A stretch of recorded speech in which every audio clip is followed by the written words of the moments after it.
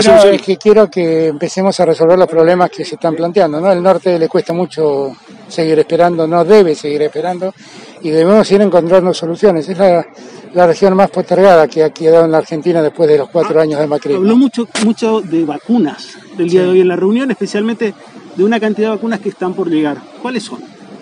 Y son las que todo el mundo conoce, las que están llegando esta noche de China. El fin de semana vamos a tener una remesa de más de Rusia.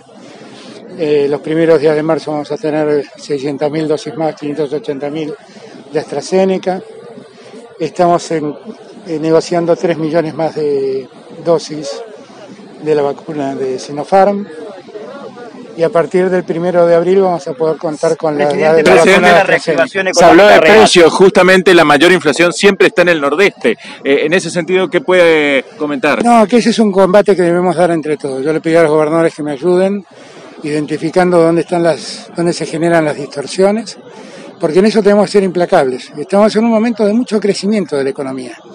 Y no puede ser que de ese crecimiento se aprovechen unos pocos en desmedro de muchos. Yo en eso me van a ver eh, inflexible, no, no voy a dejar que unos pícaros otra vez se rían de millones de Se lo argentinos. Presidente, ¿qué con ese tema y dijo que hay que actuar en forma directa. Sí, claro, que tenemos que aplicar la ley, simplemente. De los acuerdos que se hicieron hoy, ¿qué se puede cumplimentar de acá al próximo encuentro? Todo, todo. Hay muchas cosas que podemos poner en marcha rápidamente, que simplemente lo que hace falta es que nos sentemos, hagamos cuentas y lo resolvamos. ¿Un mensaje para el correntino de a pie? ¿Un mensaje para el correntino de a pie? Para el correntino de pie y para todos los norteños, a todo el norte del país.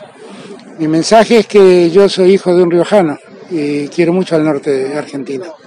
Lo quiero particularmente, le presté atención siempre y vi cómo sus condiciones de vida se fueron deteriorando mientras un centro del país no paraba de crecer y de hacerse rico. Yo quiero que cada norteño, correntino, misionero, formoseño, chaqueño, santiagueño, tucumano, salteño, jujeño, riojano, catamarqueño, sepa que tienen un presidente que tiene una primera prioridad, que es sacar a la gente de la pobreza. ¿Y cómo lo y que sé que en el norte hay una concentración de pobreza muy grande con la que ¿Cómo hay lo que califica Valdés como anfitrión?